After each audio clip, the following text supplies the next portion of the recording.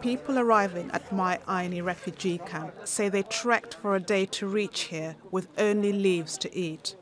But things got worse at the camp. This man didn't want to be identified. There is no any safety here. How can I feel safe here? There's no safety here because they are also here.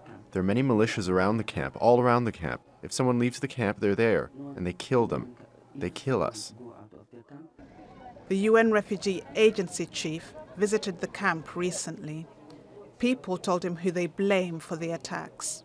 They also spoke of infiltration of armed actors in the camps, of killings, abductions, and also some forced return to Eritrea uh, at the hands of Eritrean forces present in the areas.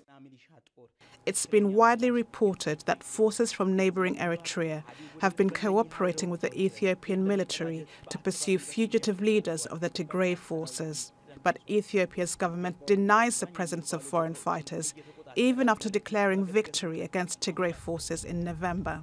People caught up in the violence say locals living around the camp are punishing them for the war. There are ladies. There are ladies. Uh, There are ladies who are raped by local people due to this war because they believe that our soldiers killed their brothers. They believe that, so they are raping our sisters, mothers, and they are killing our brothers. UNHCR says up to 20,000 people are trying to escape revenge attacks. The refugee agency wants the Ethiopian government to give them access to the areas where they're hiding so they can be helped.